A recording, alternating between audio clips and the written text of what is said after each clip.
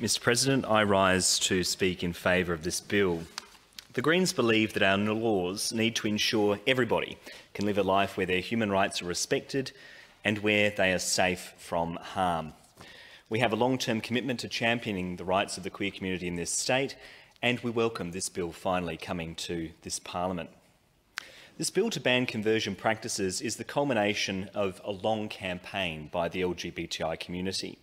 It's a campaign that has been nationwide. New South Wales, Victoria, the ACT have already banned these harmful practices. Queensland has banned them within healthcare environments. Western Australia and Tasmania have committed to reform. And it was a promise of the Malinauskas government that they would tackle this issue if elected. There is no secret about that, uh, Mr President. It was part of the Labor Party's election platform and they were elected to form government. And so, much to the relief of many, they have acted upon that election commitment. I want to acknowledge the leadership of some of my colleagues in this place over many years on this issue. The Honourable Tammy Franks, who has been a staunch ally and voice for LGBTI South Australians.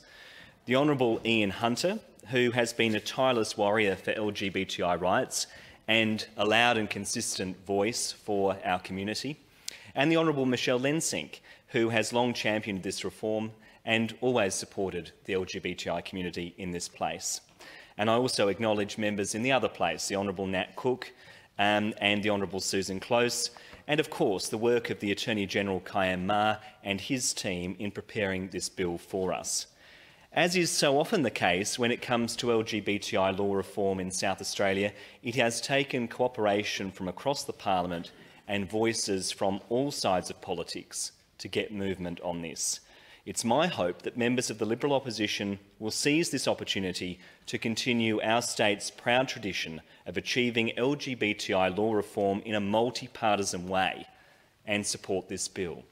I note the statements made by many um, on the opposition benches, but I do hope that uh, more members will join the Honourable Michelle Lensink in coming on board and embracing this opportunity. I also want to acknowledge the survivors of conversion practices and I thank them for sharing their stories with us. I want to thank the groups that have amplified their voices and advocated for this change. Equality Australia, SARA, the Sexual Orientation and Gender Identity Change Efforts survivors and the Brave Network, amongst many others.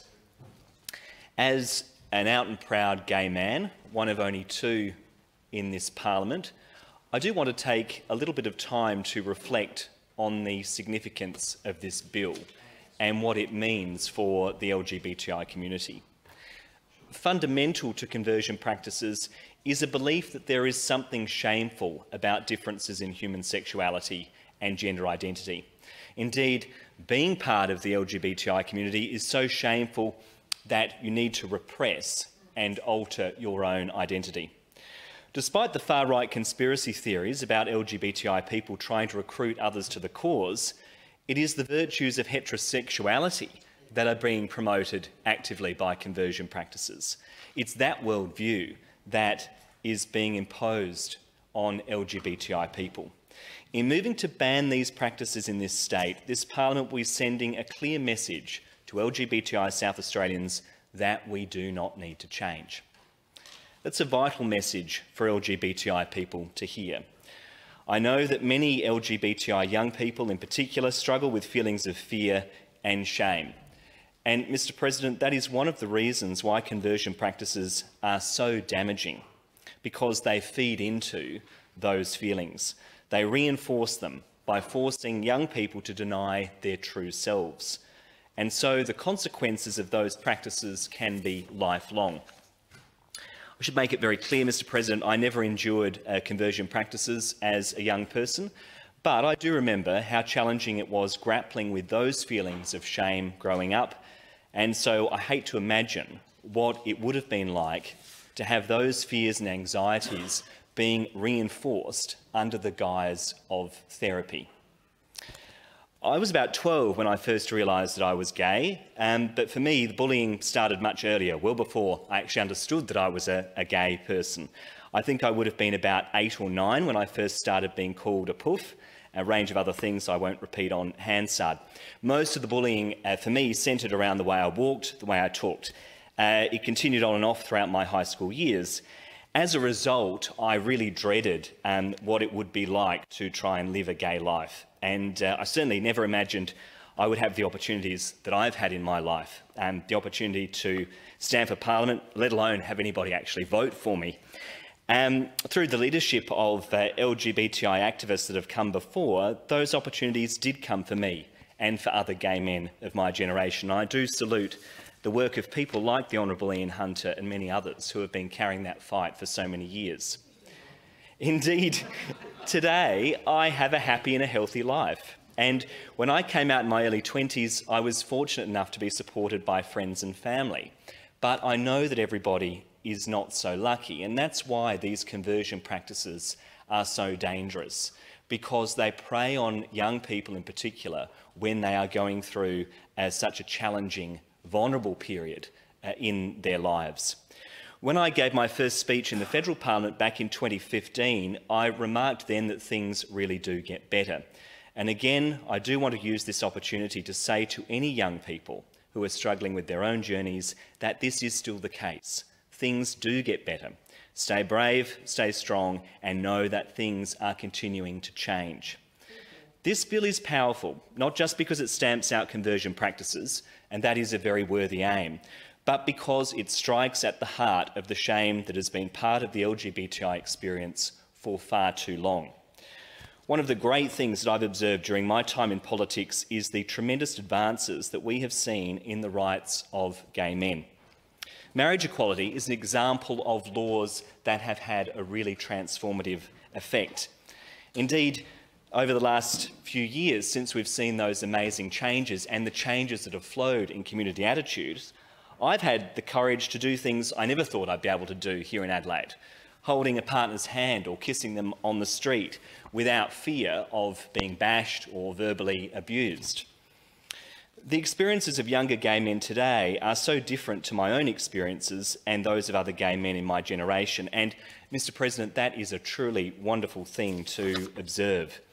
It gives me hope that we have seen some really amazing advances, that just as we have seen amazing advances in our rights and freedoms that these opportunities will flow through to the rest of the LGBTI community. Indeed, the big challenge for gay men like myself is to continue the fight for other members of our LGBTI community that need our help. We cannot leave our trans friends behind. And today it seems that like the gay men of the 80s and the 90s and the noughties, trans people are the new targets of right-wing ideologues. And the right-wing culture warriors that seek to demonise difference and impose their worldviews on others are now, are, are now targeting uh, trans kids. And I see this bill as being an important way of standing up for those young people. I'll make a few remarks about some of the statements that have been made um, in the debate.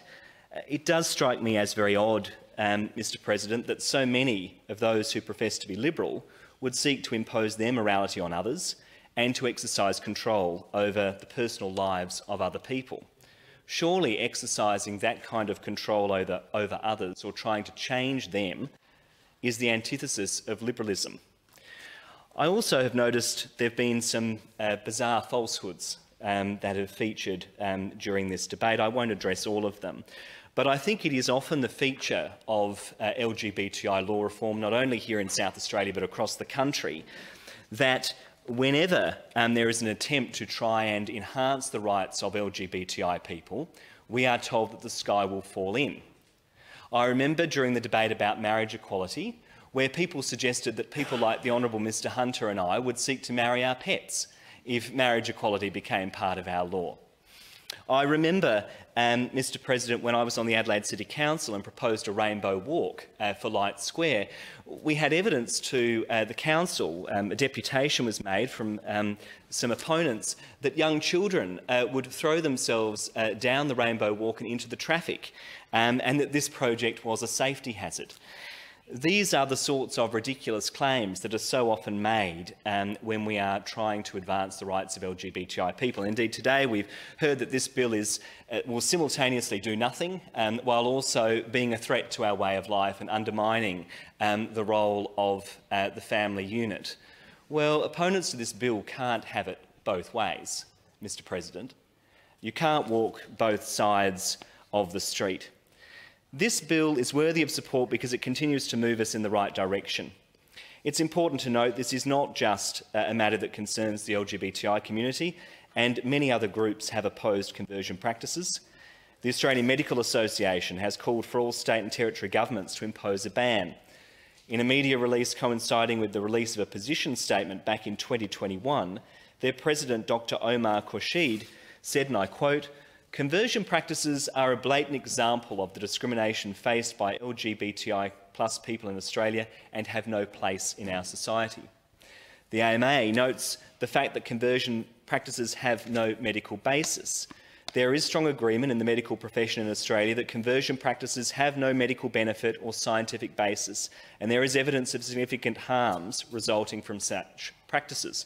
Now, I note um, the a statement uh, made in her contribution by the, the Honourable um, Nicola Centofanti, where she said she had been contacted by a, a counsellor who said they would not practice um, should this ban on conversion uh, practices be put in place.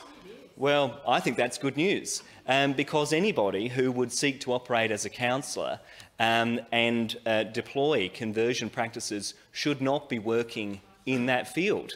Um, that's one less uh, troublesome person in that profession. Some people might believe that these arcane practices are a thing of the past. Well, sadly, these practices do still take place in South Australia. I have heard, as have other members um, in this place, uh, from uh, survivors who have shared their experiences with us, and I do commend them for their bravery in talking about challenging and traumatic events. Up to 1 in 10 LGBTI Australians remain vulnerable to conversion practices, with about 4% of all Australians aged 14 to 21 having experienced some form of conversion practice. There is significant harm that comes with these practices, including acute distress, ongoing mental health issues, severe anxiety, depression, symptoms of chronic trauma and PTSD. Some organisations and communities disguise their attempts to suppress someone's sexuality or gender identity as counselling or care well, often these activities are not undertaken by anybody with any formal training in counselling, and they can cause irrevocable harm to people who are convinced or forced to go through such a process. Sometimes these things are labelled therapy, but therapeutic attempts to alter sexual orientation and gender identity have been discredited by the psychological community for years. In 2015, a report by the Office of the United Nations High Commission for Human Rights included conversion therapy in its list of practices that are categorised as torture and ill treatment. Many conversion programs have claimed they only exist to help those who express a desire to change.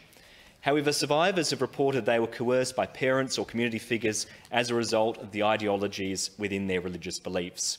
Many survivors have expressed they were driven by fear of rejection from their family and their community, and therefore they were considered willing, when in fact it was much more complex than that. And as I have uh, detailed earlier, Mr President, so many um, LGBTI young people confront the circumstances that I faced, where they desperately want to change because they fear what the future might hold. And I think it is morally wrong for people to prey in, uh, on uh, young people in those circumstances. Any activity that seeks to suppress a person's sexual orientation or gender identity is based on the false premise that people are queer, uh, that, that queer people are broken and need to be fixed. These practices are steeped in bigotry and discrimination. Rather than recognising and supporting someone in an affirming way, they deny someone from understanding their true identity.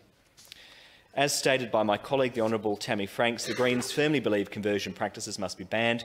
We also want to ensure the government is going to provide services and support uh, to survivors. It's important that we don't just have a legislative approach, but that we also um, provide ongoing support for these people. My colleague, the Honourable Tammy Franks, has been engaging with stakeholders and has prepared a series of amendments to improve the bill. She has outlined the basis of these within her second reading speech. Additionally, I will move one amendment, um, should the Honourable Tammy Franks' amendment not be successful, which will extend the reporting period to six years, and I'll speak a little bit more about that in the committee stage. I do understand, um, Mr President, that some members of the LGBTI community will look at this bill and say that it doesn't go far enough. Understand that. The Greens hear you, and that's why we are advancing these amendments. But if these amendments fail, we will, of course, be voting in favour of this bill. While the bill isn't perfect, it represents another important milestone in the journey for LGBTI rights in our state. And of course, Mr President, the fight continues. For those who seek to change LGBTI people or to bully us into denying our identities, they must know this. We're here, we're queer, we're going to keep up the fight, out of the closet, into the streets and into the parliament.